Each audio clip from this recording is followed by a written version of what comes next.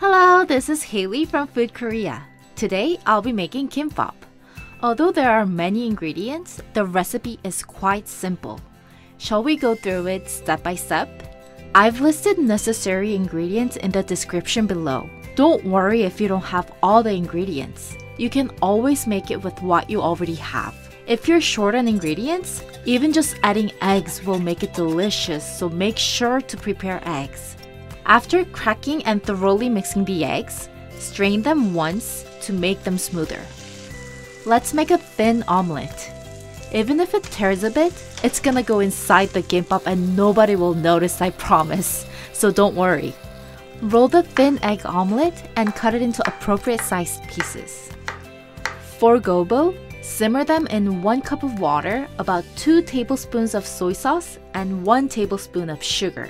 If it lacks water, add a little bit more gradually while cooking to ensure it's well cooked.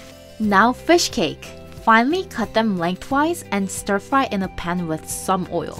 If you're not using gobo, add soy sauce and sugar to the fish cake instead to add flavor. Slice carrots into small, long pieces. You can use slicer to make it easier. When stir frying carrots, it will dry quickly so use a bit more oil than you think you'll need.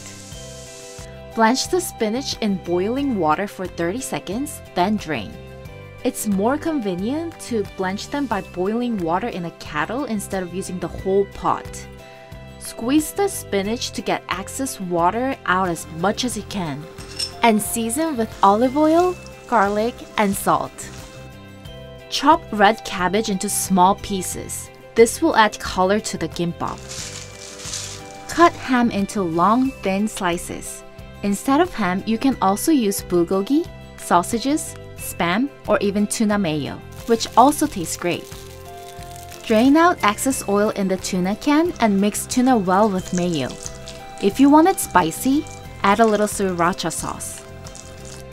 It's recommended to include pickled radish. If not, you'll need some other type of pickle.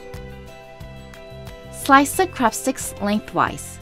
I won't stir fry them, I'll use them as they are. For rice, season it with sesame oil, salt, and sesame seeds.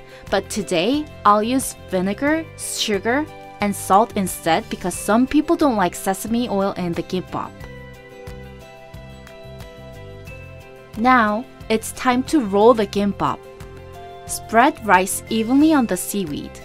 This time, I'll add sesame leaves before rolling to accommodate tuna mayo. Sesame leaves also help prevent moisture coming out from tuna mayo. Place the leaves beneath and on top of tuna mayo, and then add your desired ingredients after. I added fish cake, pickled radish, red cabbage, carrots, and egg. Kimbap tastes and looks better when the ingredients are stacked nicely in order. Shall we roll it again?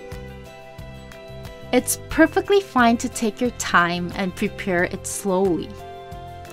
Try adding or removing ingredients to compare flavors. Kimbap always tastes better with plenty of carrots and eggs. Nowadays, reducing the amount of rice is a trend, right? After rolling it tightly, put water at the end of the seaweed to make it stick together.